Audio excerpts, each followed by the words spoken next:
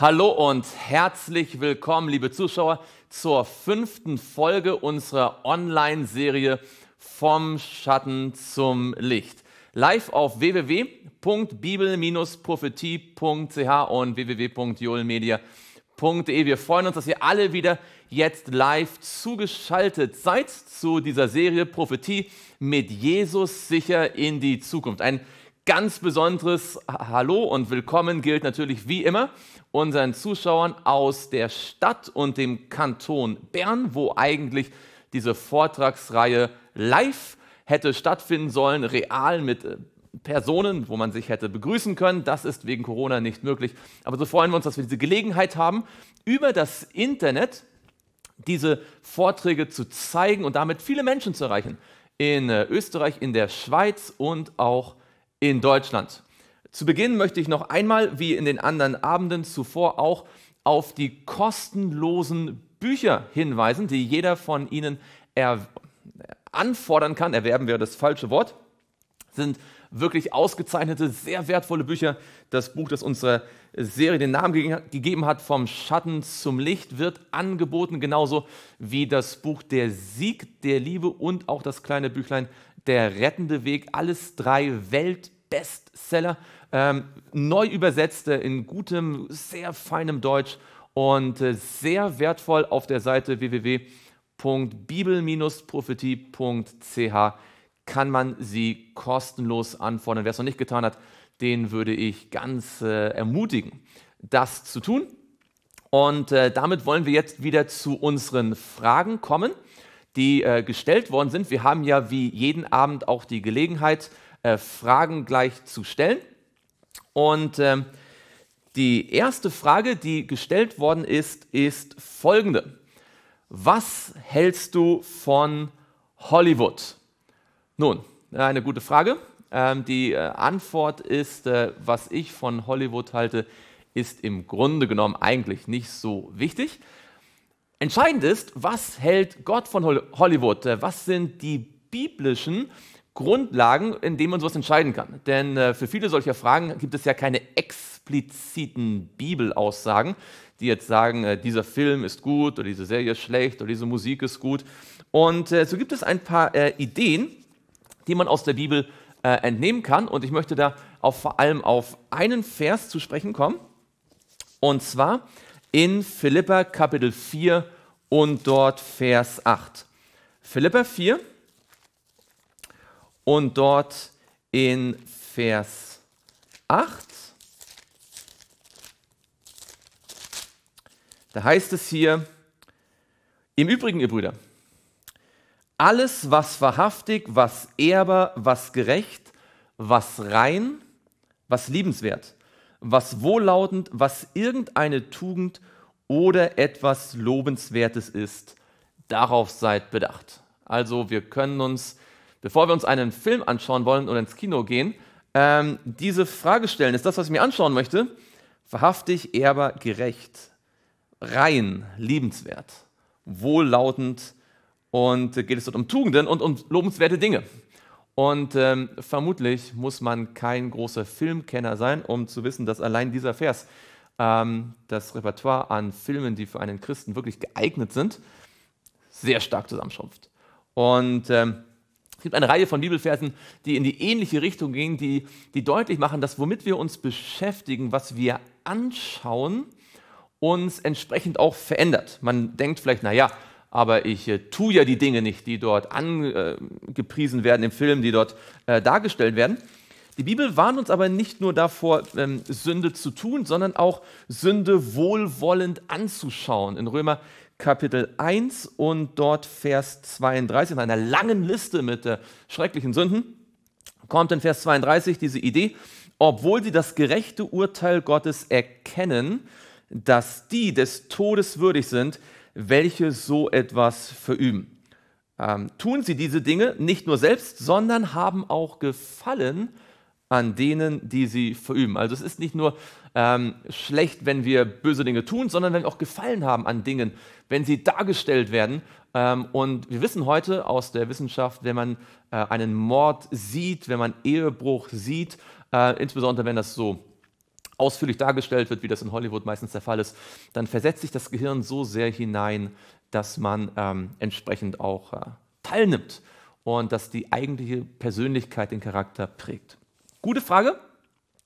Die nächste Frage ist auch sehr interessant grundsätzlich sagt die Bibel, wir sollen für jeden Menschen beten und bitten. Doch in 1. Johannes 5, Vers 16 steht im zweiten Teil, es gibt Sünde zum Tode, dass man für eine solche Person bitten soll, sage ich nicht. Wie ist dieser Vers zu verstehen?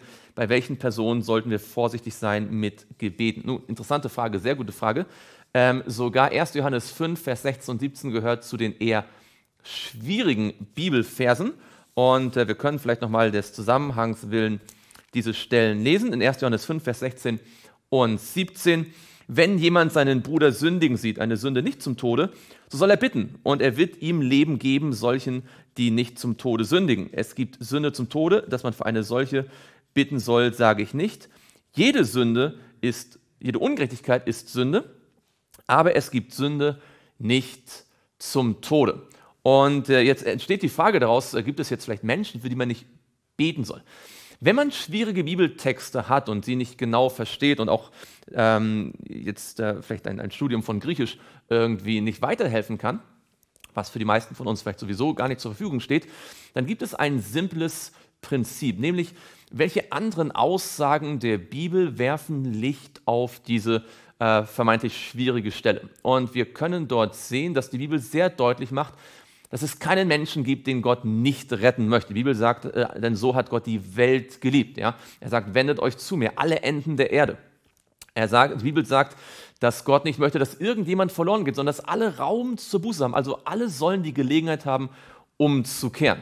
Und wir dürfen für jeden Menschen bitten, dass Gottes Geist an ihm wirkt. Nun, es gibt offensichtlich verschiedene Grade von Sünde. Nun, alle Sünde führt letztlich zum Tod. Denn die Bibel sagt in Römer 6, dass der, die, dass der Sold der Sünde der Tod ist. Das heißt, es gibt keine Sünde, die ich tun kann, ähm, die am Ende nicht dazu führen würde, dass ich sterben würde. Also was meint Johannes, wenn er sagt, es gibt Sünde zum Tode und Sünde nicht zum Tode? Wir wissen, dass es eine wesentliche Unterscheidung zwischen Sünden gibt ähm, in Bezug auf die Vergebung. Denn Jesus spricht davon, dass es eine Sünde gibt, die nicht vergeben werden kann. Und das bezieht sich auf die sogenannte Sünde gegen den Heiligen Geist in Matthäus Kapitel 12.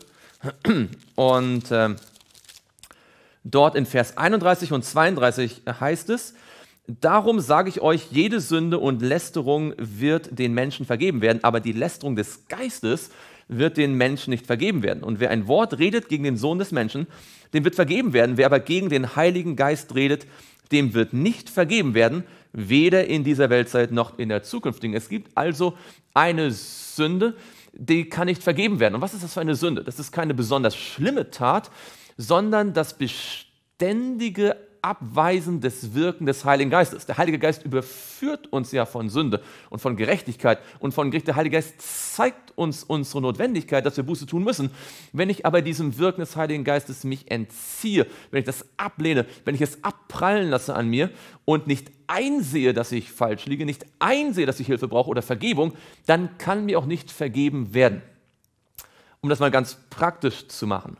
Wenn ein Mensch mit mir redet und er ist sich bewusst, dass er, dass er ähm, ähm, äh, sündigt oder dass etwas falsch mit ihm ist und er, er weiß vielleicht gar nicht genau, wie schlimm die Sünde ist, aber er möchte etwas ändern und der Geist Gottes wirkt an ihm und er ist bereit, auch sich korrigieren zu lassen und ich bete für ihn, dann hat das eine Auswirkung.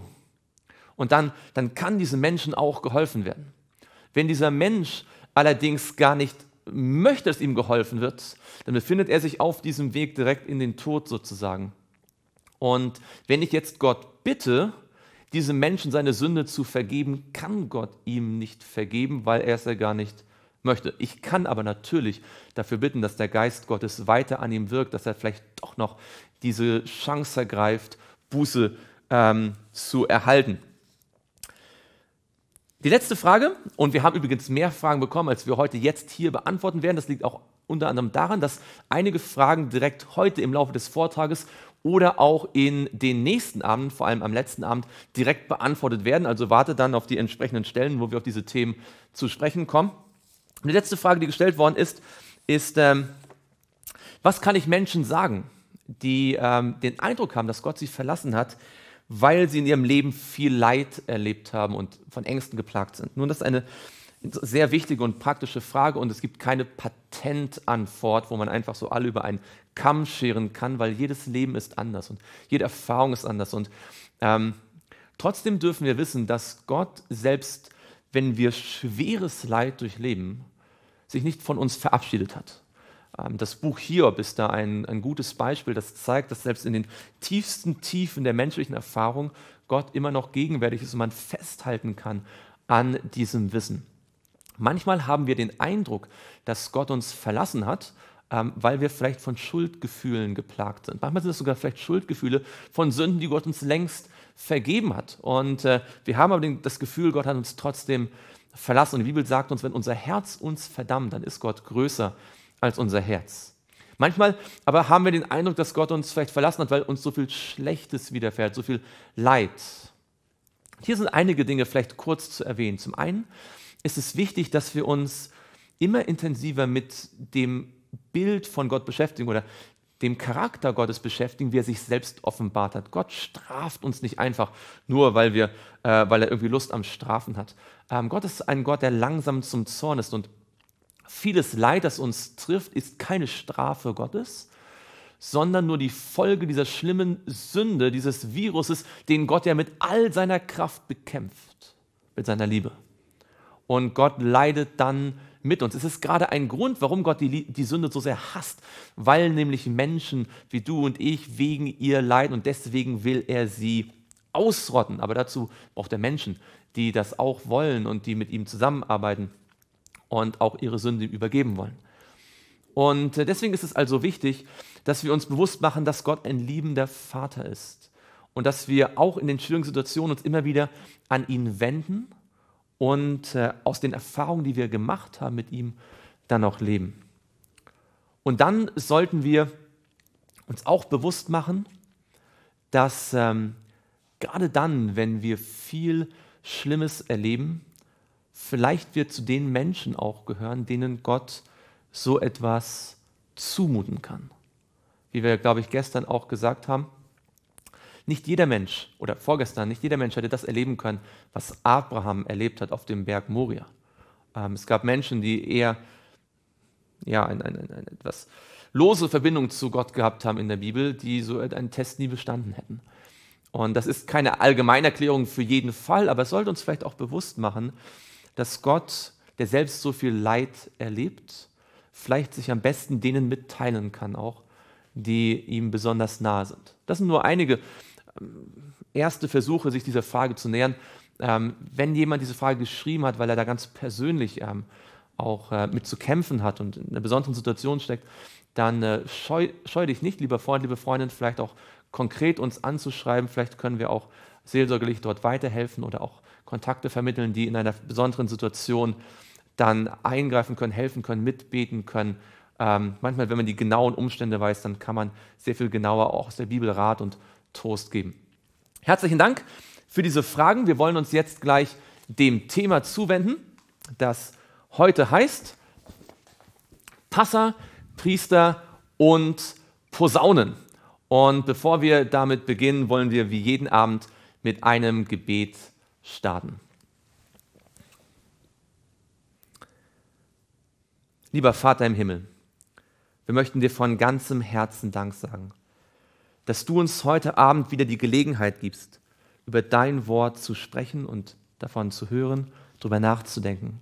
Wir möchten dich bitten von ganzem Herzen, dass du heute Abend unser Herz erreichst und dass wir dich besser kennenlernen, dass wir dich lieben lernen, weil du so bist, wie du bist.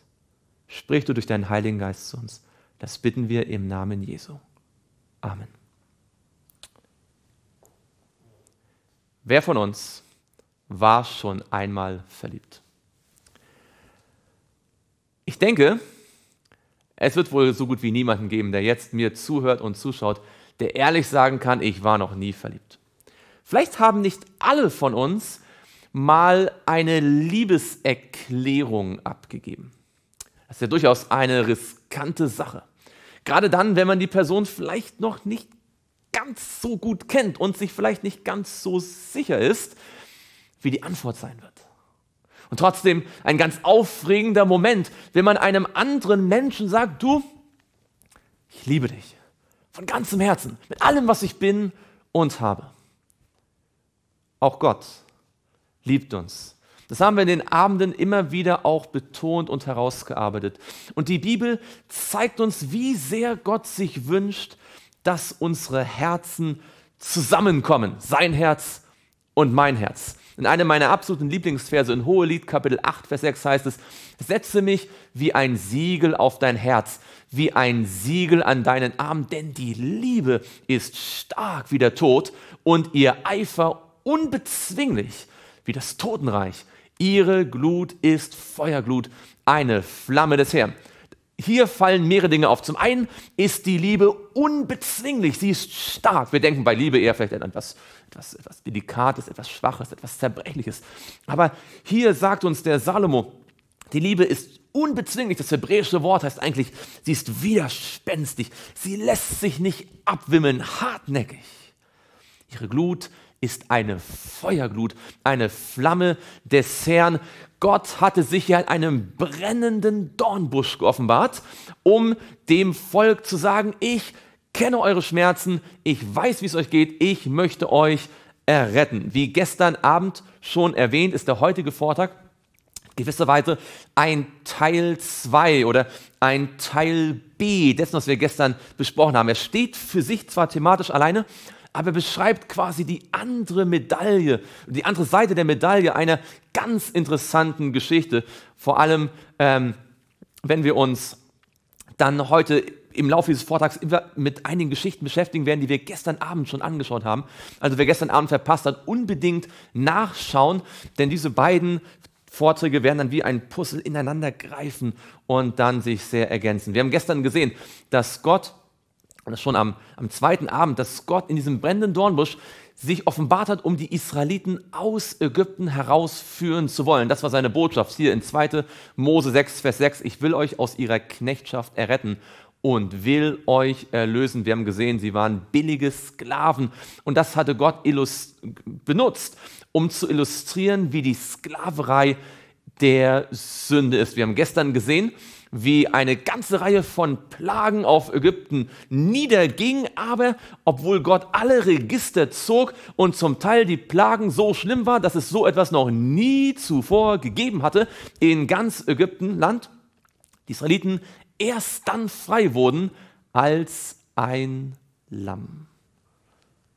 Das Lamm das sie in ihrem Haus haben sollten für einige Tage, als dieses Lamm geschlachtet wurde und als das Blut des Lammes an die Türpfosten gestrichen worden ist.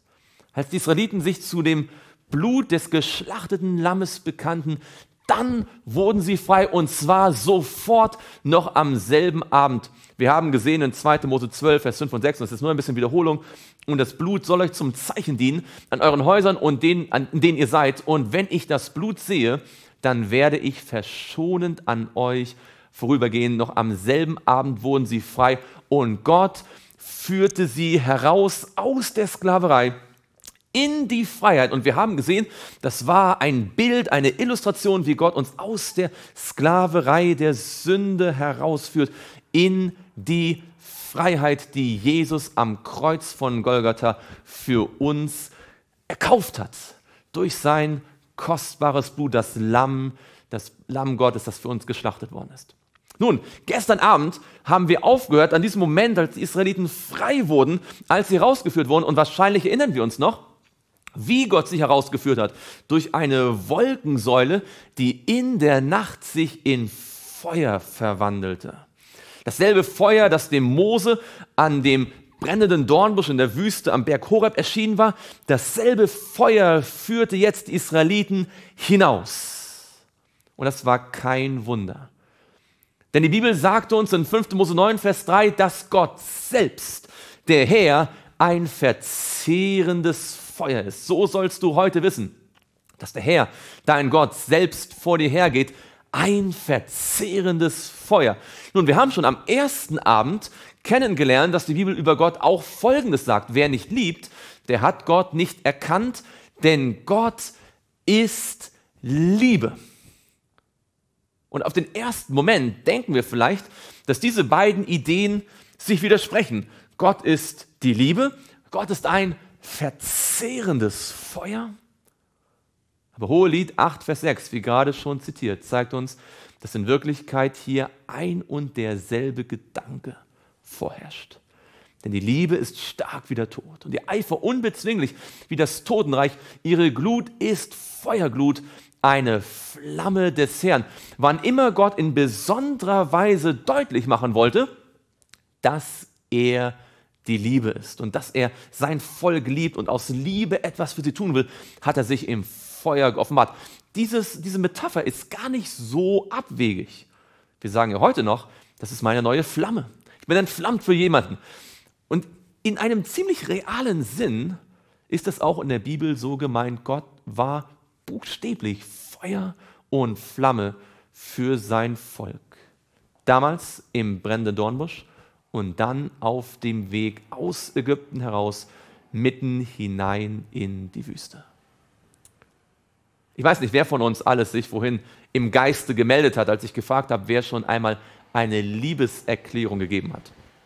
Nun, Tatsache ist, so eine Liebeserklärung gibt man am liebsten nicht unbedingt an äh, einem sehr geschäftigen Ort ab, sondern eher dort, wo es ähm, kein, keine Störung gibt und äh, kein, äh, ja, kein, wie soll ich sagen, äh, ja, wo niemand uns, niemand ablenkt.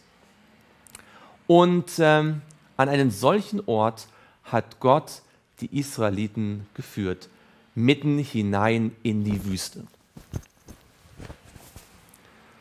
An diesem Ort in der Wüste war er mit ihnen ganz allein. Und deswegen wollte er ihnen hier etwas zeigen. Schauen wir gemeinsam in 2. Mose 19, Vers 4 und 5. Ich habe gesehen, was ich an den Ägyptern getan habe und wie ich euch auf Adlersflügeln getragen und euch zu mir gebracht habe.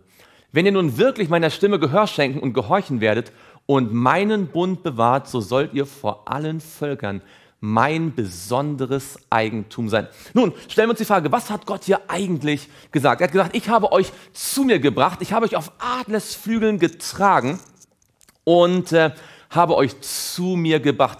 Aber nicht einfach nur so, sondern zu einem ganz bestimmten Zweck. Was war der Zweck? Schauen wir den Vers nochmal an. Wenn ihr nun wirklich meiner Stimme Gehör schenken und gehorchen werdet und meinen Bund bewahrt. Nun, was genau ist ein Bund? Dieses Wort kommt von dem Tätigkeitswort, von dem Verb verbinden. Zwei Menschen verbinden sich zum Beispiel in der Ehe zu einem Ehebund. Gott sagt, ich habe euch nicht einfach nur befreit und, und schubst euch jetzt so in das weite Leben hinein. Er, er sagt, ich habe euch befreit. Ich habe euch zu mir gebracht, damit wir eine Einheit bilden, damit wir uns verbinden, ihr und ich. Und dann sagt er weiter, so sollt ihr vor allen Völkern mein besonderes Eigentum sein. Jetzt, in welchem Sinne sollten die Israeliten besonders sein? Waren sie klüger, waren sie stärker, waren sie schöner, intelligenter? Nein. Er sagt weiter, denn die ganze Erde gehört mir. Ihr aber sollt mir ein Königreich von Priestern, ein heiliges Volk sein. Das sind die Worte, die du den Kindern Israels sagen sollst. Gott sagt mit anderen Worten, alle Völker gehören mir. Die Babylonier, die Ägypter, die Hethiter, die Kananiter, die Heviter, die Pherisiter, die Amoriter, alle Iter dieser Welt. Sie gehören mir alle, ich habe sie alle gemacht. Aber ihr seid besonders. Warum? Ihr habt die Erfahrung gemacht, dass das Blut des Lammes befreit. Ihr habt die Erfahrung gemacht, dass der Gott des Himmels euch vorangeht, dass er euch liebt. Ihr kennt mich. All die anderen Völker sind von Gott geschaffen worden. Gott hat sie gemacht, Gott ernährt sie, Gott lässt seine Sonne und über ihnen aufgehen, aber sie kennen ihn nicht, sie lieben ihn nicht zurück. Sie haben keine Beziehung zu ihm. Und Gott sagt, ihr sollt ein besonderes Volk sein. Ihr sollt ein Volk von Priestern sein. Wer waren Priester? Wir werden heute noch ein bisschen mehr darüber hören. Priester waren Menschen, die eine Verbindung herstellten zwischen Gott und anderen Menschen. Menschen, die im Grunde genommen Mittler waren zwischen Gott und anderen Menschen. Und ja, es gab dann später ein bestimmtes Priestergeschlecht in Israel. Nicht jeder konnte ein tatsächlicher Priester am Tempel sein, aber in einem eigentlichen Sinne sollten alle Israeliten, alle Erlösten, alle, die frei geworden waren durch das Blut des Lammes, sie sollten alle Priester sein. Verbindungsmänner und Verbindungsfrauen zwischen Gott und anderen Menschen. Sie sollten anderen erzählen, was sie mit Gott erlebt hatten. Die ganze Welt sollte erfahren von diesem Gott und seiner seinem besonderen Plan der Erlösung. Dazu hatte Gott die Israeliten befreit und sie zu seinem Volk gemacht. Und übrigens, diesen Plan hat er nie aufgegeben. Wir werden noch am letzten Abend mehr darüber erfahren. Und so sagt Gott, damit ihr diese Aufgabe richtig ausführen könnt, damit ihr wirklich wisst, von wem ihr redet, möchte ich mich erst einmal richtig vorstellen. Ich möchte euch meine Liebe erklären. Sie waren ja mitten in der Wüste. Keine Ablenkung. Auch wir haben unsere, wie vorhin gesagt, unsere Liebeserklärung wahrscheinlich an einem Ort gemacht, wo wir von niemandem abgelenkt worden sind. Und Gott gibt ihnen noch drei Tage Zeit, sich vorzubereiten und sagt, am dritten Tag werde ich euch begegnen. Was für eine spannende Sache. Stellen wir uns vor, wir wüssten, dass in drei Tagen Gott uns buchstäblich begegnet. Was würde man nicht alles tun? Wie würde man sich vorbereiten? Äh, sich, sich ja, vielleicht gedanklich und, und auch, auch die Kleider waschen und alles Mögliche. Mit welchen Gedanken sind wohl die Israeliten an jenem Abend direkt davor ins Zelt gekrochen? Wie wird das wohl sein? wenn Gott morgen zu uns spricht, wird vielleicht wieder irgendwo in der Wüste ein Dornbusch brennen? Ja, vielleicht müssen wir ein bisschen gucken, dass wir den richtigen Dornbusch finden, der dann die ganze Zeit brennt. Ja, wird das vielleicht irgendwie so sein? Wird vielleicht die, die Feuersäule irgendwie uns nahe kommen? Wird die vielleicht in besonderer Weise sprechen? Wahrscheinlich haben sich Israeliten einiges gedacht, sind eingeschlafen und am nächsten Morgen wachten sie auf und die Erde bebte und es donnerte und es rauchte und es brannte. Im gesamten Lager scheinbar eine riesige Wolke war zu sehen. In 2. Mose 19, Vers 16 lesen wir, und es geschah, als der dritte Tag kam und es noch früh am Morgen war, da hob sich ein Donnern und Blitzen und eine dichte Wolke lag auf dem Bär und es ertönte ein sehr lauter Schall von Schofern. Da schrak das ganze Volk, das im Lager war. Zittern, sind sie aus ihren ihren, ihren Zelten rausgekrochen. So hatten sie das nicht vorgestellt. Der ganze Berg Horeb, dort wo Gott einige Monate zuvor sich im brennenden Dornbusch gezeigt hatte, der brannte und bebte. Die ganze Erde schüttelte sich und die Menschen waren außer sich. Ich mag es, wie es hier steht in 2. Mose 19, und Mose führte das Volk aus dem Lager Gott entgegen und sie stellten sich unten am Berg auf. Aber der ganze Berg Sinai rauchte, weil der Herr im Feuer auf ihn herabstieg. Und sein Rauch stieg auf wie der Rauch eines Schmelzofens. Und der ganze Berg erbebte heftig. Eins ist sicher, wenn Gott sich uns offenbart, ist das eine spektakuläre Sache. Wenn man Gott näher kennenlernt, wird es nicht langweilig. Die Israeliten hatten so etwas noch nie gesehen und noch nie gehört. Und um auf die Frage zurückzukommen, so etwas hatte auch Hollywood noch nie fabriziert. Der Berg brannte bis in den Himmel. Eine Wolke und ein Rauch und ein lautes Getön von Schofahörnern. Die Israeliten waren völlig außer sich, sie wussten gar nicht, was sie dazu sagen sollten. 5. Mose 4 sagt, da tratet ihr zu und standet unten am Berg, aber der Berg brannte im Feuer bis ins Innerste des Himmels hinein. Im Hebräischen steht dort bis in das Herz des Himmels, der voller Finsternis, Wolken und dunkel war. Und der Herr redete mit euch mitten aus dem Feuer. Die Stimme seiner Worte hörtet ihr, aber ihr saht keine Gestalt, sondern vernahmt nur die Stimme.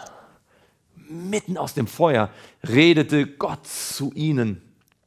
Und wenn sie genau darüber nachgedacht hätten, dann hätten sie darüber nachdenken können, dass hier sich wieder Feuer offenbart.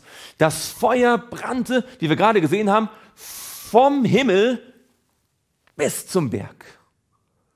Das Feuer verbannt den Berg mit dem Himmel. Denn die Liebe Gottes verbindet den Himmel mit der Erde. Er kam im Feuer herab, um zu sagen, ich liebe euch. Eine Liebeserklärung. So lesen wir auch in 5. Mose, Kapitel 5, Vers 2 und 4. Der Herr, unser Gott, hat am Horeb einen Bund mit uns geschlossen. Von Angesicht zu Angesicht hat der Herr auf dem Berg mit euch geredet, mitten aus dem Feuer. Ja, Moment mal, haben sie wirklich das Angesicht Gottes gesehen? Haben wir nicht gerade erst gelesen, dass sie nur die Stimme gehört haben und seine Gestalt nicht gesehen haben? Ja, widerspricht sich Mose jetzt an der einen Stelle sagte, ihr habt seine Stimme gehört, aber seine Gestalt nicht gesehen, aber am nächsten, in der nächsten Stelle sagt er, ihr saht ihn von Angesicht, von, Gott hat mit, von Angesicht zu Angesicht mit euch geredet. Nun, tatsächlich haben die Israeliten Gott nicht buchstäblich gesehen. Aber diese Phrase, Gott hat mit euch gesprochen, von Angesicht zu Angesicht, soll eine ganz tiefe Wahrheit verkünden. Und der Herr redete mit Mose von Angesicht zu Angesicht. Das ist eine, eine Redewendung scheinbar im Hebräischen, wie ein Mann mit seinem Freund redet. Als also Gott im Feuer herabkam, um zu sagen, ich verbinde den Himmel mit der Erde, hier bin ich für euch da. Da hat er im Grunde genommen eine Freundschaftsanfrage an das Volk Israel gestellt. Ein bisschen spektakulärer als heute, wenn man auf Facebook versucht, einen, eine Freundschaftsanfrage zu stellen. Aber das war die Idee. Er sagte mit anderen Worten, ich möchte euer Freund sein. Nun, die Frage ist, Warum dann diese Hörner? Warum dieses Ganz ehrlich, wer von uns bei seiner, wer von uns hat bei seiner Liebeserklärung, die er seiner Geliebten oder seinem Geliebten äh, gegeben hat, eine Trompete dabei gehabt? gehabt und äh, hat, äh, bevor es dann losging, erst einmal ein bisschen Trompete. So. Ich habe eine Ankündigung zu machen. Ah, wahrscheinlich nicht, oder? Trompeten und Posaunen und Schofahörner haben in der Bibel zwar verschiedene Facetten, aber alles geht eigentlich zurück auf eine Grundbedeutung. Im Neuen Testament lesen wir ebenso auch, wenn die Posaune einen undeutlichen Ton gibt, wer wird sich zum Kampf rüsten? Posaunen stehen für Krieg. Ja, Moment mal. Jetzt mal ganz gut nachgedacht. Warum würde man bei einer Liebeserklärung ein Instrument des Krieges verwenden?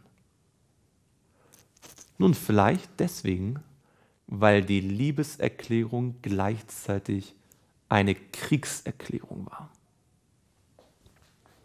Eine Liebeserklärung und gleichzeitig eine Kriegserklärung, jawohl, denn die Liebeserklärung an den Sünder ist gleichzeitig eine Kriegserklärung an die Sünde. Das war ja schon in 1. Mose 3, Vers 5 so, 15 so, in äh, der ersten Prophezeiung, die wir gemeinsam studiert haben. Dort hatte Gott den Sündern versprochen, dass er die Sünde besiegen würde. Er würde kommen, der Schlange den Kopf zertreten. Wir haben gesehen, diese gute Nachricht, dieses Evangelium, diese erste Verheißung des Erlösungsplanes begann sogar im Hebräischen mit dem Wort Feindschaft, will ich setzen. Die Liebeserklärung an Adam und Eva war eine Kriegserklärung an den Satan und die Sünde. Wann immer Gott dem Sünder die Liebe erklärt, erklärt er der Sünde den Krieg. Und deswegen sind Sünder meistens ziemlich verwirrt, wenn sie in die Gegenwart Gottes kommen, weil sie sehen die Anzeichen seiner Liebe, aber sie spüren auch etwas, was ihnen scheinbar Angst macht, weil sie ja meistens noch mit der Sünde sich eng verbunden haben und merken, da gibt es etwas, das will hier angreifen. Wenn wir aber genau verstehen, was Gott möchte, verstehen wir, er will uns von der Sünde trennen. Weil was ist Sünde? Wir haben gesehen, Sünde ist die Übertretung des Gesetzes und Sünde trennt von Gott. Wir haben gelesen, dass Gott ein verzehrendes Feuer ist. Was verzehrt dieses Feuer? Wenn das Feuer ein Symbol für die Liebe ist, was verzehrt die Liebe? Nun, stellen wir uns vor, ein Mensch Ein Mann zum Beispiel wird von seiner Frau verlassen. Aus irgendeinem Trennungsgrund, das kann ja alles möglich sein, ein anderer Mann, das kann manchmal auch die Zahnpastatuber sein. Es gibt die verschiedensten Dinge, die als Trennungsgründe angeführt werden. Was immer dieser Trennungsgrund ist, wenn der Mann seine Frau noch liebt, was hasst er? Er hasst den Trennungsgrund. Und jede Handlung seiner Liebe, jede Operation, die er jetzt durchführt, jede Mission, alles, alles, was er jetzt denkt und tut und sagt, um seine Liebe auszudrücken, wird gleichzeitig darauf zielen, diesen Trennungsgrund zu beseitigen. Gottes Liebeserklärung an dich ist eine Kriegserklärung an die Sünde, die wir tun. Und deswegen war diese Liebeserklärung so massiv, so intensiv, so spektakulär. Gott wollte zeigen, welche Kraft er hat um die Sünde zu besiegen. Und dann sprach er. Und Gott redete alle diese Worte und sprach. Das ist nicht nur eine Einleitung, denn wir haben gesehen, Gott sprach, es werde Licht und es wurde Licht. Wenn Gott etwas sagt, dann tritt es ein. Und diese Worte, die Gott hier sprach, waren nicht einfach nur als Regeln, die er jetzt mal in den Raum wirft, gedacht, sondern sie sollten zeigen, was er tun kann, aufgrund seiner Liebe und seiner Kraft, weil er uns liebt und die Sünde hasst. Ich bin der Herr, dein Gott, der dich aus dem Land Ägypten, aus dem Haus der Knechtschaft herausgeführt habe. Deswegen ist dieses Gesetz auch das Gesetz der Freiheit. Du sollst, erstes Gebot, keine anderen Götter neben mir haben. Wer wirklich liebt, hat keinen Nebenbuhler oder Nebenbuhlerin. Wer von uns verheiratet ist, hat versprochen, keine andere Frau, keinen anderen Mann zu haben. Das war nicht einfach irgendwelche elitäre, ein, kein elitärer Exklusivismus. Nein, das ist Liebe. Du sollst dir kein Bildnis noch irgendein Gleichnis machen, weder von dem, was oben im Himmel, noch von dem, was unten auf Erden noch von dem, was in den Wassern unter der Erde ist, bete sie nicht an und diene ihnen nicht. Denn ich, der Herr, dein Gott, bin ein eifersüchtiger Gott, der die Schuld der Väter heimsucht an den Kindern bis in das dritte und vierte Glied derer, die mich hassen. Manche Menschen fragen sich, wie kann das sein? Ist Gott ein eifersüchtiger Gott? Ja, die Bibel sagt, er ist es. An anderer Stelle in 5. Mose 4 heißt es sogar, dass Gottes Name eifersüchtig ist. Nun, wir alle kennen kranke Eifersucht, unbegründete Eifersucht. Ähm, und das ist hiermit nicht gemeint. Aber wenn es einen Grund gibt, eifersüchtig zu sein, und der Partner ist gar nicht eifersüchtig, sagt das nicht etwas über mangelnde Liebe aus? Echte Liebe wird auch echt eifersüchtig, wenn es einen echten Grund gibt. Die echte Eifersucht Gottes über unsere echte Sünde ist ein Beweis für seine echte, reale Liebe der bei Gnade erweist an vielen Tausenden, die mich lieben und meine Gebote halten. Hier macht Gott einen Zusammenhang, der im Denken seit bestimmt dreieinhalbtausend Jahren von gläubigen Menschen irgendwie nicht so richtig zusammenfinden will, nämlich dass Liebe und Gesetz nicht zwei verschiedene Dinge sind, die man irgendwie notfalls noch zusammen harmonisieren muss oder vielleicht, wie es heute oft leider geschieht, das Gesetz ganz beiseite tut oder als unwichtig oder abgeschafft oder verändert. Nein, bei Gott sind seine Liebe und seine Gebote eine nicht aufzulösende Einheit.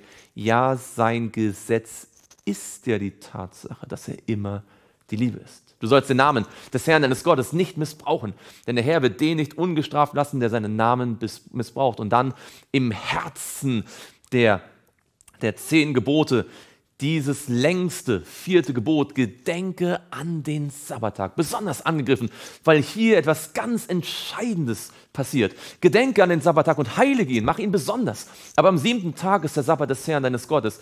Da sollst du kein Werk tun, weder du noch dein Sohn, noch deine Tochter, noch dein Knecht, noch deine Magd, noch dein Vieh, noch dein Fremdling, der innerhalb deiner Tore wohnt. Denn in sechs Tagen hat der Herr Himmel und Erde gemacht und das Meer und alles, was darin ist. Und er ruhte am siebten Tag. Darum hat der Herr den Sabbattag gesegnet und geheiligt. Jede Beziehung kann nur überleben, wenn es genügend Zeit miteinander gibt.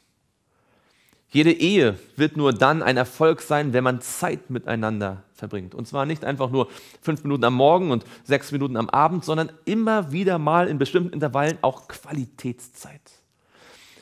Gottes Beziehung zu seinen Gläubigen besteht darin, dass er sich wünscht, einmal in der Woche am Sabbat, dem biblischen Ruhetag, dem Samstag, Zeit zu verbringen Ruhe zu haben, einer besonderen Möglichkeit, eine besondere Möglichkeit zu haben, in der Beziehung mit Gott zu wachsen.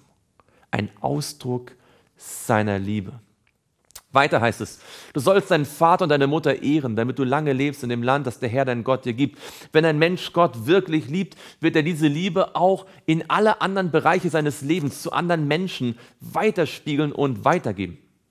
Du sollst nicht töten. Du sollst nicht Ehe brechen.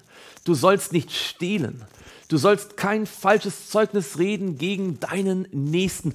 All das zeigt in den verschiedenen Bereichen des Alltags, des Lebens, dass die Liebe Gottes das Herz eines Menschen verändert. Und dann ganz an der Wurzel von allem, du sollst nicht begehren das Haus deines Nächsten, du sollst nicht begehren die Frau deines Nächsten, noch seinen Knecht, noch seine Magd, noch seinen Rind, noch seinen Esel, noch irgendetwas, das der Nächste hat, denn wenn du das tust, glaubst du, dass Gott nicht das Beste für dich tut. Nur der begehrt, was andere haben, der nicht zufrieden ist und überzeugt davon ist, dass Gott sich vollständig und ausreichend um ihn kümmert. Hier dieses Begehren nach Dingen, die ihm nichts gehören, war ja die Ursünde, die der, die der Luzifer, der zu Satan wurde, begangen hatte im Himmel. Hier also sind sie, die berühmten zehn Gebote, zwei Steine voller Liebe. Eine Beschreibung dessen, was Gott sich wünscht. Ich weiß nicht, wie es dir ergangen ist, als du deiner Geliebten oder deinem Geliebten deine Liebe offenbart hast. Es kann ja vorkommen, dass man nicht auf absolute Gegenliebe stößt. Schauen wir, was passiert ist, als Gott seine Liebe in Form der zehn Gebote offenbart hat. Wir lesen in 5. Mose 5 und wir müssen jetzt gut mitdenken und, und, und sauber mitlesen. Und es geschah, als ihr die Stimme mitten aus der Finsternis hörtet und der Berg im Feuer brannte, da tratet ihr zu mir, alle Oberhäupter eurer Stämme und eure Ältesten, und ihr spracht, siehe, der Herr, unser Gott, hat uns seine Herrlichkeit und seine Größe sehen lassen, und wir haben seine Stimme mitten aus dem Feuer gehört, Heute haben wir gesehen, dass Gott mit den Menschen redet und sie am Leben bleiben. Also gut merken, Sie sagen, wir haben gesehen, Gott redet aus dem Feuer mit Menschen, wir leben noch, wir wissen es. Okay, alles klar, nächster Vers. Und nun, warum sollen wir sterben? Äh, Moment mal. Wie? Sie haben gerade gesagt, wir haben mitbekommen, dass Gott mit Menschen redet und wir sind am Leben geblieben und deswegen haben wir Angst, dass wir sterben. Denn dieses große Feuer wird uns verzehren. Wenn wir die Stimme des Herrn unseres Gottes noch weiter hören, so müssen wir sterben. Sie sagen, wir haben gerade eine Erfahrung mit Gott gemacht und wir sind am Leben und deswegen haben wir Angst, dass wir sterben. Wenn dir das nicht merkwürdig vorkommt, das ist doch merkwürdig, oder? Ja, das ist merkwürdig. Aber genau hier zeigt sich dieser Konflikt. Sie verstehen nicht, dass die Liebeserklärung an den Sünder eine Kriegserklärung an die Sünde ist. Ja, es stimmt, das Feuer am Berg Sinai war ein verzehrendes Feuer, doch nicht um sie zu verzehren, sondern um ihnen deutlich zu machen, dass Gott die Sünde verzehren möchte. Und offensichtlich war ihnen die Sünde noch ziemlich wichtig. Manchmal kommt uns Gott so nahe, dass wir plötzlich wieder einen Rückzieher machen. Wir sind froh und dankbar, wenn er uns von einer Krankheit heilt, wenn er uns einen neuen Arbeitsplatz gibt, wenn er irgendwie dafür sorgt, dass unsere Kinder eine gute Zukunft haben, aber wenn er dann ganz nahe kommt in unseren Alltag, in unsere Gedanken, in unser Schlafzimmer, zu unserem Kühlschrank, dann wird es uns manchmal ziemlich heiß. Und vielleicht sagen wir dann das, was die Israeliten hier sagen. In 5. Mose 5, Vers 26 und 27. Denn wer von allem Fleisch könnte die Stimme des lebendigen Gottes mitten aus dem Feuer reden hören, wie wir und am Leben bleiben? Das ist ja eine rhetorische Frage. Also wer könnte das ertragen? Welcher Mensch könnte die Stimme Gottes hören? Und jetzt kommt's, Vers 27. Tritt du hinzu. Mose, und höre alles, was der Herr, unser Gott, reden wird. Moment mal. Sie sagen gerade, welcher Mensch, der aus Fleisch und Blut ist, könnte die Stimme Gottes hören? Deswegen, Mose, ähm, geh du hin. War Mose aus Fleisch und Blut? Ja, selbstverständlich. Mose war auch nur ein Mensch. Und sie wussten, dass Mose nicht verzerrt werden würde, wenn er mit Gott reden würde. Sie wussten, ohne es richtig zugeben zu wollen, es gab einen Unterschied zwischen Mose und ihnen. Mose folgte Gott wirklich, er glaubte ihm, aber sie waren noch so ein bisschen skeptisch, sie blieben ein bisschen auf Distanz. Ja, sie wollten, dass Gott sie in das gelobte Land führt, ja, ja, ja, aber sie wollten nicht, dass Gott so nahe kommt, so nahe, dass er jetzt wirklich ihr Leben bestimmen würde. Wie viele Menschen machen das heute noch? Dass sie an einen Gott glauben und hoffen, dass er ihnen auch hilft, wenn sie eine Prüfung haben oder wenn, wenn ihre Arbeitsstelle in Gefahr ist. Aber sie wünschen sich nicht, dass er so nahe kommt und sie würden ihn gerne ein bisschen auf Distanz halten. Was sie mit anderen Worten gesagt haben, war, Gott, hör auf zu reden. Also sie wollten noch, dass er sie weiterführt, aber sie wollten nicht mehr, dass er direkt zu ihnen spricht. Stattdessen sagen sie zu Mose, schreib du auf, was Gott dir sagt. Ja? Sie waren damit zufrieden, dass Gott zu Mose spricht und Mose ihnen sozusagen dann secondhand das Wort Gottes weitergibt, aufgeschrieben auf Steintafeln. Und so kamen die zehn Gebote auf Steintafeln.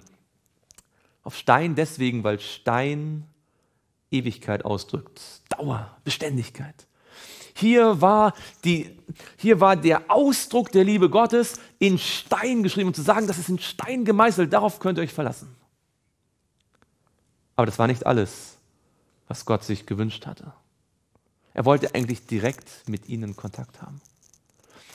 Und deswegen, wir haben diesen Vers ja schon angesprochen, vor zwei Abenden, sagt dann Mose einen Propheten wie mich, wird dir der Herr, dein Gott, erwecken aus deiner Mitte. Aus deinen Brüdern, auf ihn sollst du hören, ganz so, wie du es von dem Herrn, deinem Gott, am Horeb erbeten hast, am Tag der Versammlung, in dem du sprachst, ich will von nun an die Stimme des Herrn meines Gottes nicht mehr hören und das große Feuer nicht mehr sehen, damit ich nicht sterbe. Der kommende Prophet, von dem wir schon wissen aus unserem bisherigen Studium, dass das Jesus gewesen ist würde also die Aufgabe haben, das, was am Sinai nicht vollendet werden konnte, weil die Israeliten gesagt haben, stopp, ist zu viel, ja, komm nicht weiter, das, mehr wollen wir nicht, ja, lass uns Freunde bleiben, aber auf Distanz. Das würde Jesus vollenden. Das heißt weiter, und der Herr sprach zu mir, Sie haben recht geredet. Ich will Ihnen einen Propheten, wie du es bist, aus der Mitte Ihrer Brüder erwecken und meine Worte in seinen Mund legen. Das, was Gott am Sinai sagen wollte, würde der Kommende dann Ihnen präsentieren. Aber Gott wollte sein Volk ja jetzt nicht einfach ganz aufgeben. Obwohl sie ihm gesagt hatten, Gott, hör auf zu reden. Wollte er trotzdem noch bei ihnen sein. Meine Frau hat mir vor einigen äh, Monaten mal eine Karte gezeigt, auf der stand so sinngemäß geschrieben, wenn du mich mal verlässt, nimmst du mich dann mit? Ich glaube, so ein bisschen ging es Gott. Die Israeliten wollten nur eine Fernbeziehung, so eine Distanzbeziehung, aber Gott sagt, okay. Das ist erstaunlich an Gott. Gott sagt nicht, wie wir vielleicht gesagt hätten, okay, dann, dann lass mich doch in Ruhe, ja? ich suche mir ein anderes Volk. Nein, Gott sagt, okay, kein Problem, ich, ich warte. Ich, ich gehe mit euch. Ich komme euch nicht zu nahe. Ich, ich rede nicht direkt zu euch, wenn ihr das nicht möchtet. Aber kann ich wenigstens bei euch zelten? Kann ich vielleicht meine Wohnung bei euch aufschlagen, damit ihr vielleicht über die Zeit hinweg mich ein bisschen besser kennenlernen könnt? Die Israeliten lebten in Zelten. Gott sagt, okay, baut mir auch ein Zelt, wenn ihr möchtet, mit freiwilligen Gaben. Und sie sollen mir ein Heiligtum machen, damit ich in ihrer Mitte wohne. Obwohl die Israeliten gesagt haben, hör auf zu reden, sagt Gott, okay, kein Problem. Aber ich möchte trotzdem in eurem Alltag irgendwie präsent sein, damit ihr, wenn ihr nachdenkt, mich besser kennenlernen könnt. Und so wurde dieses Heiligtum gebaut. Und die Zeit wird uns fehlen, alle Details zu beschreiben. Es ist unglaublich spannend, in 2. Mose und auch in 3. Mose zu lesen, die ganzen Vorschriften, die, der Bau dieses Heiligtums, was alles damit verbunden war. Aber um es simpel zu machen, es war die Wohnung Gottes. Gott wohnte hier, er zeltete unter seinem Volk und es gab einen ganz interessanten Plan, wie ein Mensch mit, mit seiner Sünde kommen konnte und sich Gott nähern konnte durch einen Priester. Da gab es einen Brandopferaltar, wo das Feuer beständig brannte, nicht wahr? das beständige Feuer, das vom Himmel gefallen war, wo ein Lamm oder auch ein, ein, ein, ein anderes oder andere Tiere, auch, auch Stiere, Ziegenböcke, wo Opfer gebracht werden konnten, die auf den kommenden Erlöser hinwiesen. Und dann ein Priester, der hineinging in dieses Zelt und die Menschen draußen mit Gott symbolisch verband. Dort gab es den Räucheraltar, da gab es Licht, dort gab es die berühmten Schaubrote, Symbol dafür, dass wir aus dem Wort Gottes leben. Und einmal im Jahr ging der Priester hinein in das, was man das Allerheiligste nannte.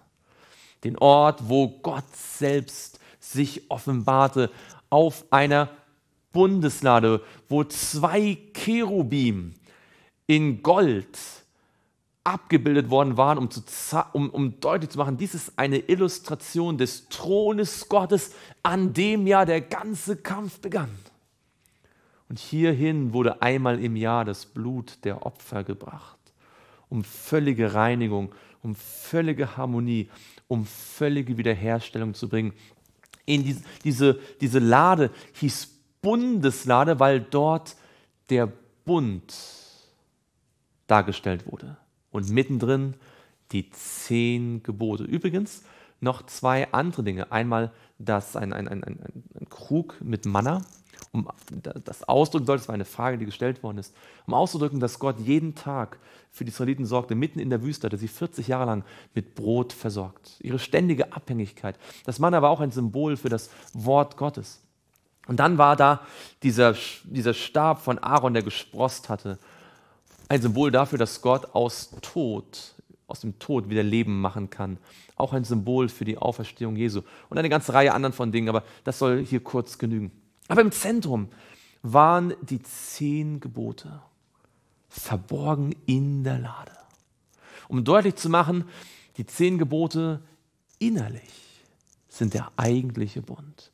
Und das war schon in der Zeit Mose das Thema, das er immer wieder predigte. Er sagte, höre Israel, ja, diese Israeliten, die gesagt haben, wir wollen aufhören zu hören, ja, wir wollen nicht mehr hören, schreib es uns auf, wir tun alles, was er sagt, ja, wir, gib uns die Regeln, wir halten uns daran.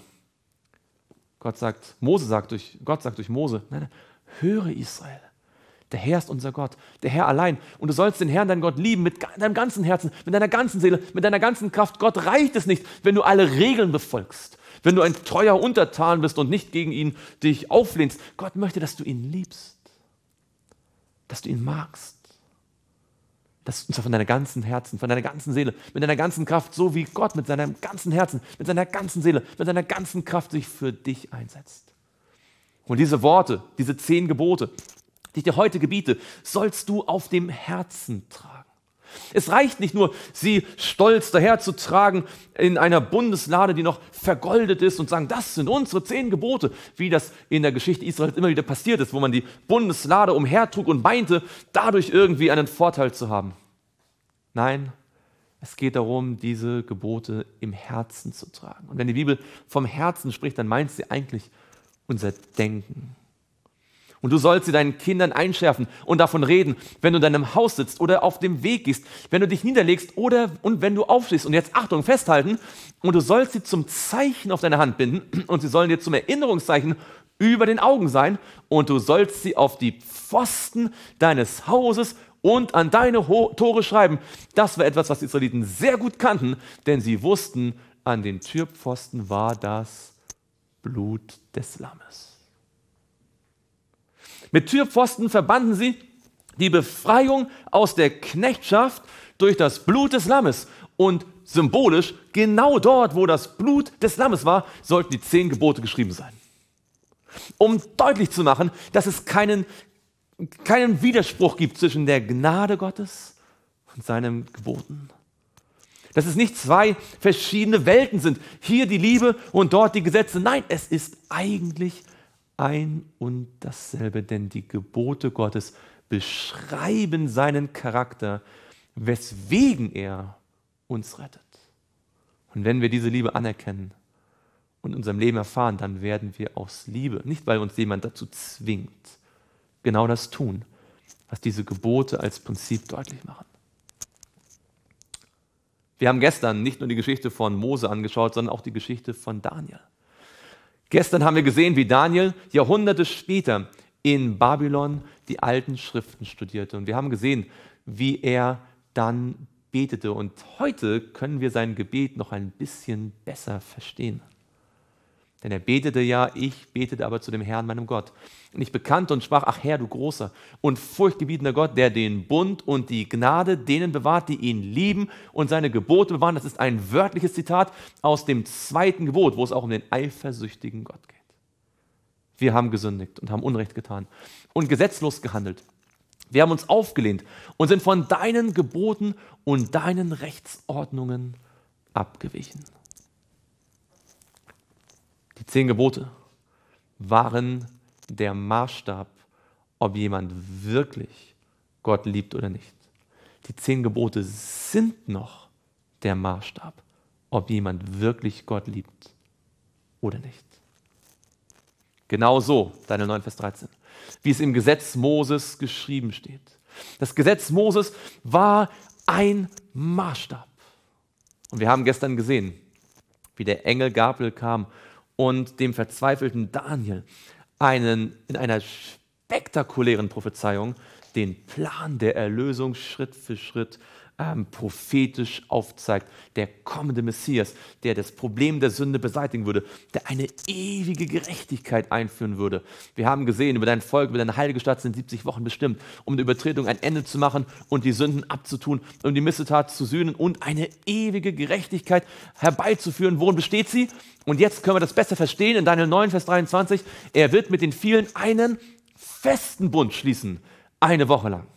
Ein Bund, so wie am Sinai, doch diesmal ein fester Bund. Der Bund, der im Sinai geschossen wurde, war allenfalls ein loser Bund. Denn die Israeliten hatten gesagt, stopp, wir wollen nichts mehr hören. Ja? Sei bei uns, aber bleib uns ein bisschen von der Pelle. Aber der Messias würde kommen und würde einen festen Bund schließen. Und das war schon an anderer Stelle im Alten Testament angekündigt worden. Jeremia 31 sagt, siehe, es kommen Tage, spricht der Herr, da ich mit dem Haus Israel und mit dem Haus Juda einen neuen Bund schließen werde. Nicht wie der Bund, den ich mit ihren Vätern schloss an dem Tag, dass sie bei der Hand ergriff, um sie aus dem Land Ägypten herauszuführen, damals am Berg Sinai, denn sie haben meinen Bund gebrochen. Das Problem war nicht, dass Gottes Gebote falsch waren oder dass er jetzt seine, seinen Plan der Lösung geändert hat. Nein, das Problem war, die Israeliten haben diesen Bund nie wirklich ganz richtig angenommen. Sie haben meinen Bund gebrochen, obwohl ich doch ihr Eheherr war, spricht der Herr. Damals am Sinai wollte er sich mit ihnen ganz verbinden und sie wollten lieber eine Distanzbeziehung. Und so sagt Gott jetzt hier in Jeremia, sondern das ist der Bund, den ich mit dem Haus Israel nach jenen Tagen schließen werde. Spricht der Herr, ich will mein Gesetz nicht ändern, sondern in ihr Innerstes hineinlegen und es auf ihre Herzen schreiben. Das Gesetz, das Gott am Sinai gegeben hat, mit allen zehn Geboten, ohne Änderung, ohne, so wie es dort steht, das möchte er im Herzen haben. Nicht einfach nur auf irgendwelchen Papierseiten. Im Herzen. Und ich will ihr Gott sein und sie sollen mein Volk sein. Und es wird keiner mehr seinen Nächsten und keiner mehr seinen Bruder lehnen und sagen, erkenne den Herrn. Denn sie werden mich alle kennen, vom kleinsten bis zum größten unter ihnen, spricht der Herr.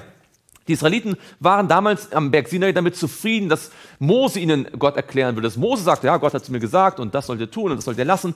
Aber Gott sagt, seid ihr wirklich damit zufrieden, immer nur von einer dritten Person von mir zu hören? Seid ihr damit zufrieden, alles, was ihr von mir wisst, von einem Prediger, Evangelisten, von, von irgendjemandem, von einem Priester zu hören? Seid ihr damit zufrieden oder wollt ihr mich nicht selbst kennenlernen? Lieber Freund, liebe Freundin, ich freue mich, dass du hier dieses Programm anschaust und dass du zuhörst und dass du mitdenkst. Aber bitte glaube mir, Gott hat noch mehr vor, als dass du meine Worte über ihn hörst. Er möchte zu dir selbst reden. Er möchte, dass du ihn persönlich kennenlernst. Denn, und so endet es hier, denn ich werde ihre Missetat vergeben und an ihre Sünde nicht mehr gedenken, weil Gott das Problem der Sünde lösen will und kann und wird. In meinem und in deinem Leben, wenn wir es zulassen.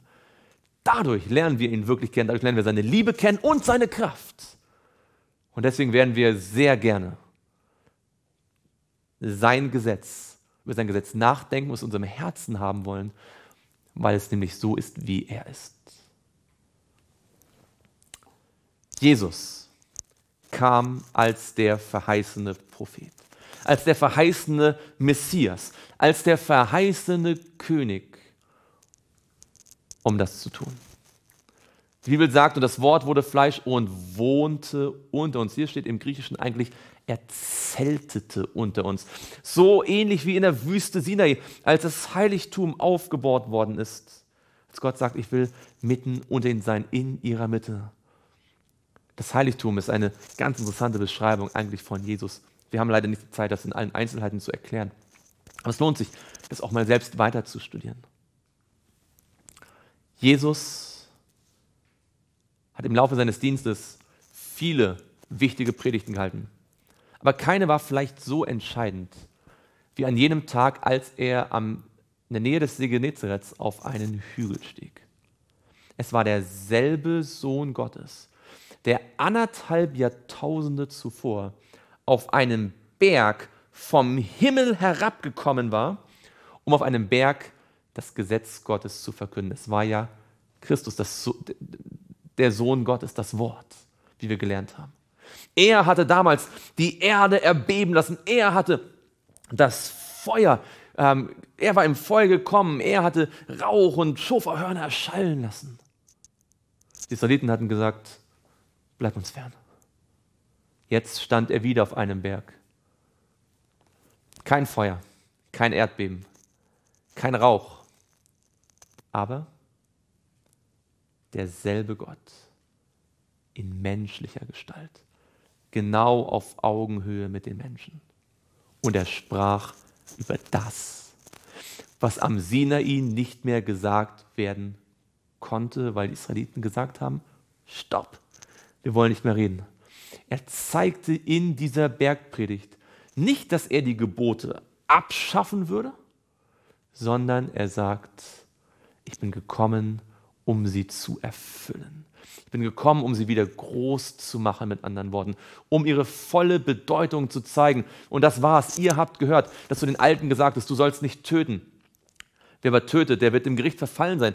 Ich aber sage euch, als derjenige, der das vor 1500 Jahren gesagt hat, was ich meinte war, jeder, der seinem Bruder ohne Ursache zürnt, wird dem Gericht verfallen sein. Wer aber zu seinem Bruder sagt, Raka, das heißt Dummkopf, der wird im Hohen Rat verfallen sein. Wer aber sagt, du nah, der wird im höllischen Feuer verfallen sein. Du sollst nicht töten. sind nicht einfach ein paar Buchstaben, wo man sagt, aha, ich habe noch niemals einen Mord begangen, ich bin also ganz okay. Nein, es ist ein Prinzip dahinter. Es geht in unser Verhalten, in unsere Worte hinein, ja noch tiefer in einige Verse weiter heißt es, ihr habt gehört, dass du den Alten gesagt hast, du sollst nicht Ehe brechen. Ich aber sage euch, wer eine Frau ansieht, um sie zu begehren, der hat in seinem Herzen schon Ehebruch mit ihr begangen. Das Gesetz muss in die Gedanken. Weil wenn es in den Gedanken ist, dann werden die Gedanken zu Worten und die Worte zu Taten und der Tat, die Taten zu Charakter. Das Gesetz Gottes muss in unser Denken. Eine der wichtigsten Aufgaben von Jesu war, den Menschen deutlich zu machen, nicht, dass die zehn Gebote zu ändern sind, nicht, dass sie abgeschafft werden, sondern dass sie endlich dorthin kommen, wo sie sein müssen. Es reicht nicht aus, stolz und zufrieden zu sein, weil wir das Wort Gottes kennen, irgendwo auf einem Buchregal ein, ein Buch haben und, und es für wahr halten. Es muss unser Leben, unser Denken erfüllen. Das ist, was Gottes Gesetz eigentlich tun soll. Derselbe Jesus, wie gesagt, der damals im Feuer herabkam, spricht jetzt auf dem Berg über dasselbe Thema. Gott hatte ja gesagt, einen Propheten wie mich, hatte Mose gesagt, wird euch der Herr senden. Und Gott hatte gesagt, dass seine Worte in den Mund dieses Propheten gelegt worden sind. Hier war jetzt das Wort Gottes selbst Fleisch geworden. Und erklärte, was er gemeint hatte. Wir haben diesen Vers schon öfter angesprochen. Da sprach ich, siehe, ich komme. In der Buchrolle steht von mir geschrieben, Achtung, wie es weitergeht. Deinen Willen zu tun, mein Gott, begehre ich und dein Gesetz ist in meinem Herzen. Man kann kein Christ sein und das Gesetz für abgeschafft halten, denn alles, was Jesus tat, kam aus dem Gesetz hervor. Das Gesetz Gottes war in seinem Herzen. Alle seine Taten, seine Gedanken, seine Worte kamen, speisten sich aus dem Gesetz. Es ist die größte Absurdität zu behaupten, dass man Christ sein kann und Jesus lieb haben kann und das Gesetz Gottes nicht. Das Einzige, was passieren kann, dass man das Gesetz Gottes falsch versteht, als eine willkürliche Ansammlung von Regeln, die man ändern oder aufheben kann. Aber das Gesetz Gottes ist der Charakter Gottes. Jedes seiner Gebote zeigt, wie er wirklich ist. Er sagt, du sollst nicht töten, weil er das Leben ist. Er sagt, du sollst nicht falsch Zeugnis reden, weil er die Wahrheit ist. Er sagt, du sollst nicht Ehe brechen, weil er die Treue ist. Und wir könnten weitergehen. Er ist die Liebe und es ist immer gesetzmäßig, deswegen ist es sein Gesetz. Die Bibel sagt, dass Jesus sein, das Gesetz Gottes im Herzen hatte. Und es heißt, ich habe Gerechtigkeit als frohe Botschaft verkündigt in der großen Gemeinde. Siehe, ich will meine Lippen nicht verschließen. Herr, das weißt du. Deine Gerechtigkeit verbarg ich nicht in meinem Herzen. Das Gesetz Gottes, seine Gerechtigkeit war in seinem Herzen, aber es ging hinaus. Er konnte dieses, diese Gerechtigkeit in seinem Herzen verbergen. Denn was wovon das Herz voll ist, dem geht der Mund über. Woran wir am meisten denken, davon reden wir am meisten. Und Jesus dachte am meisten über das Gesetz Gottes nach. Ich war, wie es so schön heißt im Psalm 1, wohl dem, der nicht wandelt, nach dem Rat der Gottlosen, noch tritt auf den Weg der Sünder, noch sitzt, wo die Spötter sitzen, sondern seine Lust hat an dem Gesetz des Herrn und über sein Gesetz nachsinnt. Tag und Nacht. Jesus dachte Tag und Nacht das Gesetz Gottes nach. Seine Gerechtigkeit war in seinem Herzen und deswegen redet er. Und wir lesen hier in Psalm 40, was er redete. Er redete über Gerechtigkeit als frohe Botschaft. Weil die zehn Gebote in seinem Herzen war, predigt er das Evangelium. Es ist die größte Absurdität, dass Christen heute glauben, dass hier das Evangelium ist und dort das Gesetz Gottes und diese zwei Dinge nichts miteinander zu tun haben. Jesus predigte das Evangelium, weil das Gesetz Gottes in seinem Herzen war. Zwei Seiten einer Medaille ist ein und dieselbe Sache. Dieses Evangelium, das die Kraft hat, uns zu retten. Wenn wir irgendeinen Zweifel daran haben, dass das Evangelium Kraft hat. Lasst uns zum Berg Sinai gehen und lasst uns in Gedanken noch einmal uns vor Augen führen, wie der Berg bebte und wie die Schoferhörner einen Krieg ankündigen, den man sich noch nie so vorgestellt hatte. Ein Krieg gegen die Sünde. Lasst uns vor Gedanken sehen, wie das Feuer vom Himmel zur Erde kommt. Gott sagt, ich habe Kraft. Ich habe euch aus Ägypten rausgeführt. Ich kann euch auch aus der Sünde herausführen. Und wer das erlebt, der liebt. Wer erlebt hat, dass Gott ihn rettet, der mag ihn auch. Sie am allermeisten. Ihre Liebe war so groß, dass sie ein besonders teures Parfüm nahm. Und wenn wir von teuer reden, meinen wir nicht 100 Euro oder 200 Euro oder 500 Euro. Wir reden von umgerechnet zahlreichen Tausenden. Manche Umrechnungen schätzen so um die 20 1000 Euro. Man hätte sich ein Auto davon kaufen können, wenn es damals schon Autos gegeben hätte, und zwar ein gutes. Hast du schon mal ein, ein Parfüm für 20.000 Euro besessen? Wahrscheinlich würde dein, dein Partner dir den, den Vogel zeigen. Nicht nur das, sie nahm dieses Parfüm und salbte damit die Füße von Jesus. Es war alles, was sie geben konnte, teuer. Und die Menschen umherum, als dieser, als dieser Duft sich so verräterisch im ganzen Raum ausbreitete, sie wollte eigentlich gar keinen großen Aufhebens machen, denn sie wollte nur Jesus sagen, wie sehr sie ihn liebt. Die anderen Menschen dachten, ist das jetzt wirklich notwendig, das ist nicht übertrieben, das ist doch fanatisch, das ist doch extrem. So viel Geld als Liebesbeweis für Jesus.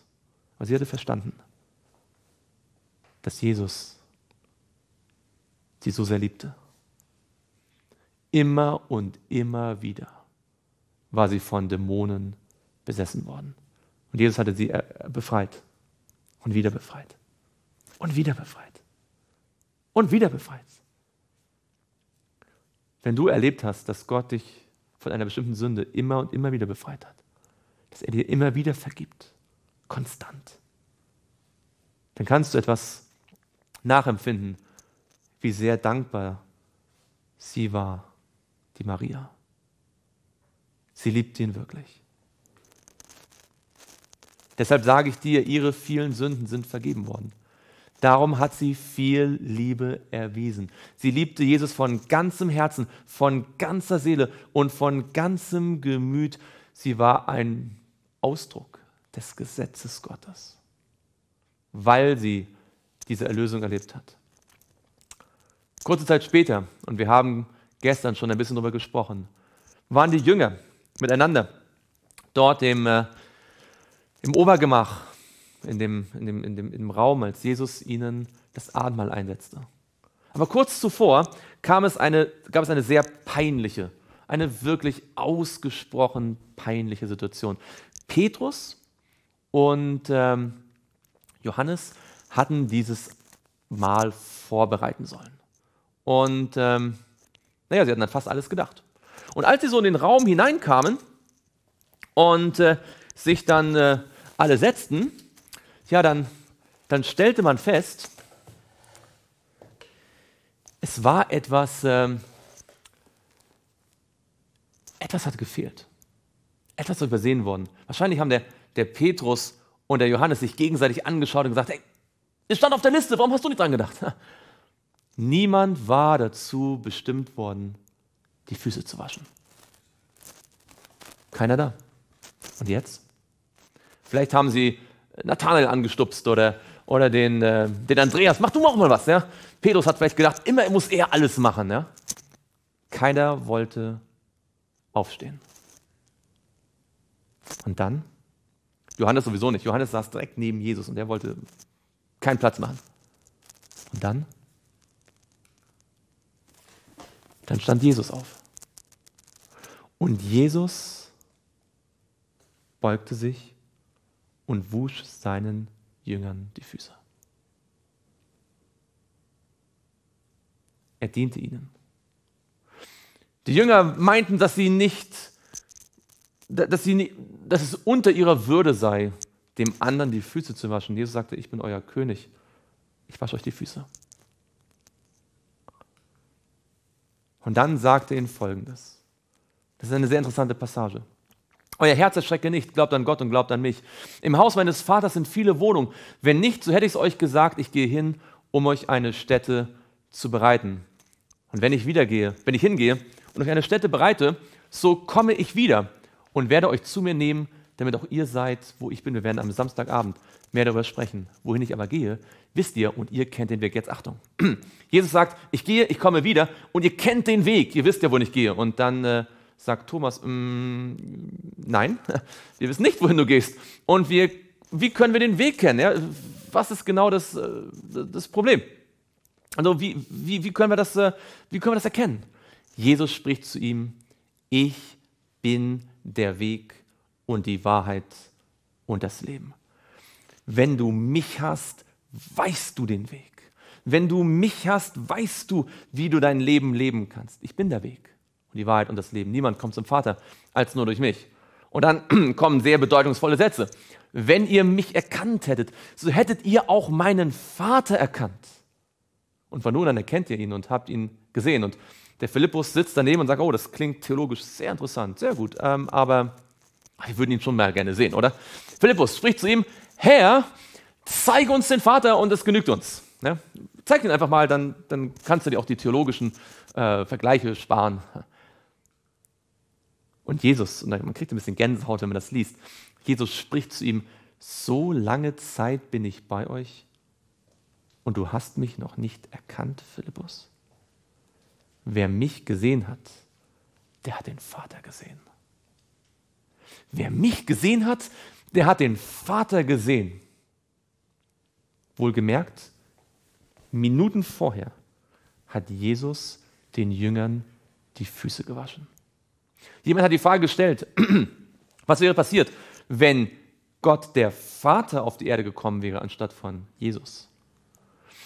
Wir haben ja gesehen, beide sind Gott.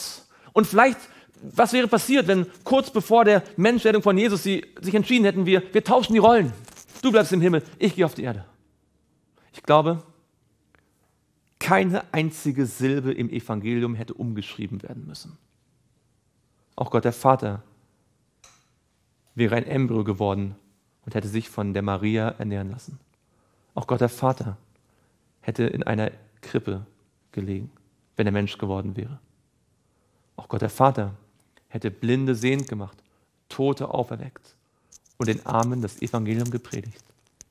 Auch Gott der Vater, wenn er Mensch geworden wäre, hätte den Jüngern die Füße gewaschen. Lieber Freund, liebe Freundin, das ist dein Vater. Wenn du Jesus gesehen hast, hast du den Vater gesehen.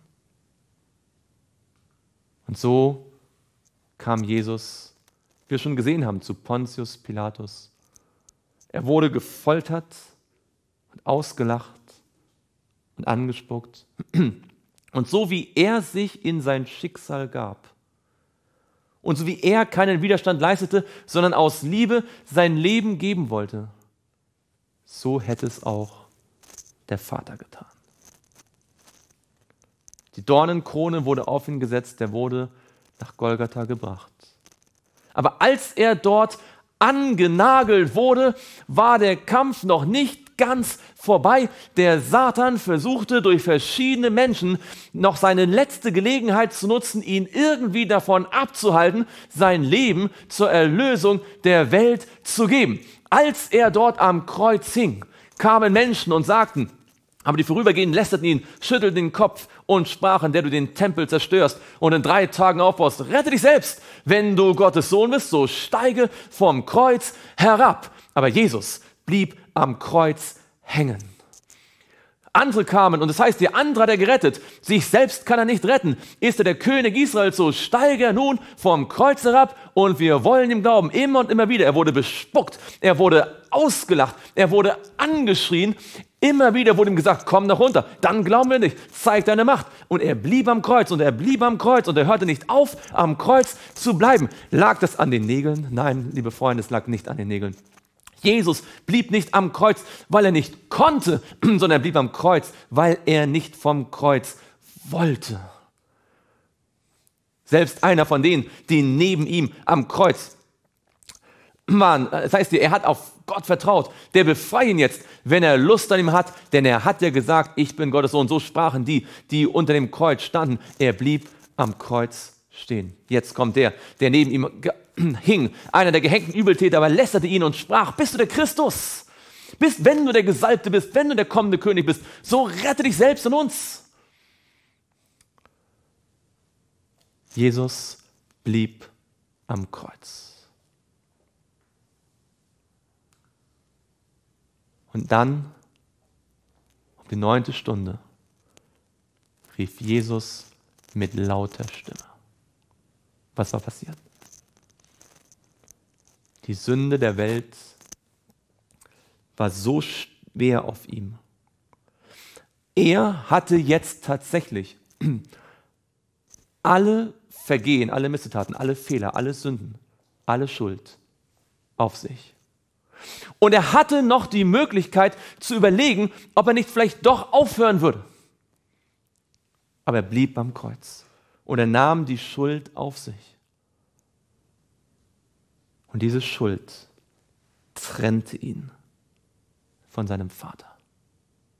Es kam der Moment, wo er nicht mehr fühlen konnte, dass sein Vater für ihn da war. Denn jetzt schaute ihn sein Vater an, als ob er der Kommandant von Auschwitz gewesen wäre. Als ob er all die Frauen vergewaltigt hätte, die jemals vergewaltigt worden sind. Als ob er all die Menschen getötet und gefoltert hätte. Gott schaute ihn an, als ob er das getan hätte. Wir alle wissen, wie schlimm es ist, wenn man etwas angeklagt wird, was man nicht getan hat. Wenn einem böse Worte untergeschoben werden, die man nie gesagt hat. Jesus hatte nie eine Sünde getan und alle Sünden wurden auf ihn getan. Gott, der Vater, schaut ihn jetzt an, als hätte er all das getan. Und in seiner Verzweiflung schreit Jesus, Eli, Eli, lama sabachthani. Mein Gott, mein Gott, warum hast du mich verlassen? Das war aramäisch, die Muttersprache von Jesus. Aber es ist ein Zitat aus Psalm 22, das eigentlich aramäisch, äh, hebräisch dort steht. Als Jesus, das hier zitiert ist, aus seinem tiefsten Herzen aber selbst in seiner, in seiner Verzweiflung, selbst in seiner Trennung von dem Vater, kommt aus seinem Herzen das Wort Gottes hervor. All die Sünden konnten ihn nicht abhalten, davon am Kreuz zu bleiben. Und als er angespuckt wurde, blieb er am Kreuz. Und als er ausgelacht wurde, blieb er am Kreuz. Und als die Sünden der Welt so sehr auf ihm lasteten, dass sogar sein Vater sich von, von ihm getrennt worden ist und er Gefahr lief, für immer verloren zu gehen, falls er in irgendeiner Weise gesündigt haben sollte, blieb er am Kreuz für sie. Seine Liebe am Kreuz von Golgatha konnte durch nichts, durch absolut nichts aufgehoben werden. Es war der absolute Beweis, dass Gottes Liebe unveränderlich ist. Das Kreuz von Golgatha beweist das Gesetz Gottes. Das Kreuz von Golgatha ist vielleicht die höchste Offenbarung des Gesetzes Gottes. Und da ist kein Unterschied zwischen den zehn Geboten und dem Gott, der sich am Kreuz von Golgatha offenbart.